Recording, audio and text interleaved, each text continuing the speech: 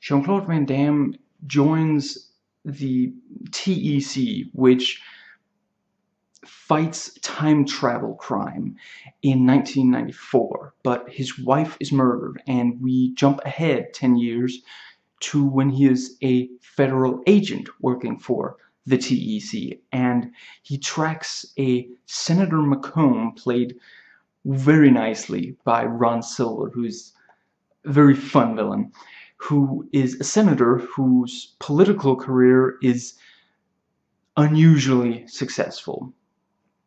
This is one of Jean-Claude Van Damme's best, and Peter Hyams, as a director, he is decent, never really amazing, but he does, you know, yeah, it's it's pretty nicely done. Among other things, the this goes back to the the Civil War, U.S. Civil War, and 1929, and they look, you know, they're they're very nicely produced.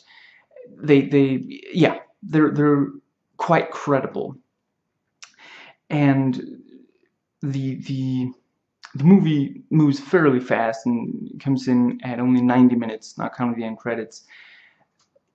You know, Jean-Claude gets to kick a lot of ass and do the split across two kitchen counters, but the action setups tend to be a bit too repetitive. It's almost always him outnumbered by several guys. He doesn't have his gun, or at least not out yet, and they probably do, and yeah, he kicks their ass.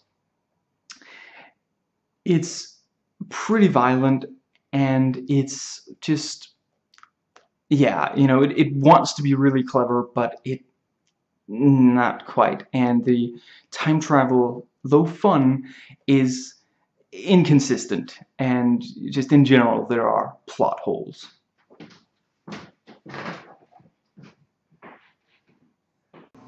If you like this review and want a more detailed one, the link is in the description box.